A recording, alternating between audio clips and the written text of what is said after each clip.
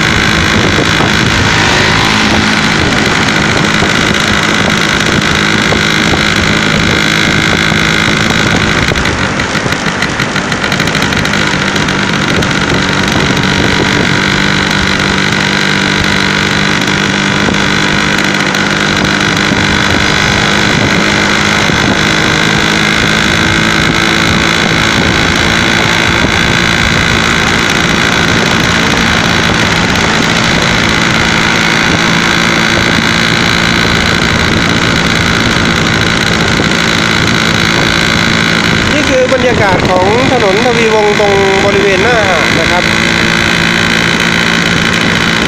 ก็จะมีลมปะทะบ้างเป็นครั้งคราว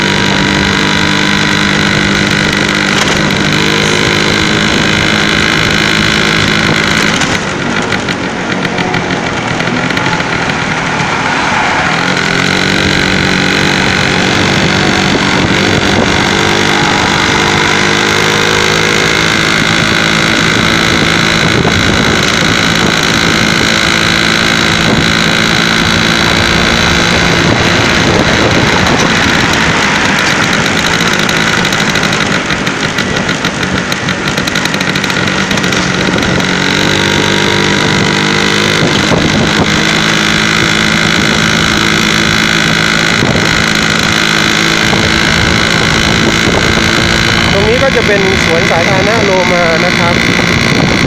เทศบาลเมืองป่าตอง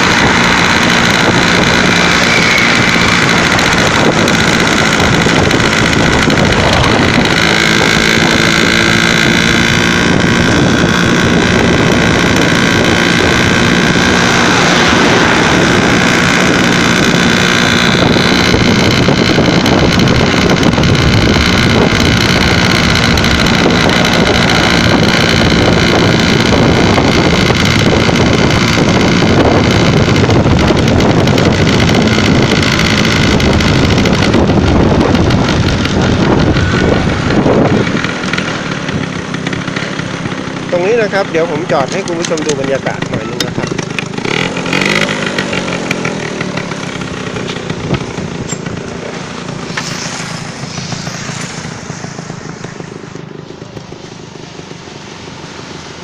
นี่ครับตรงบริเวณนี้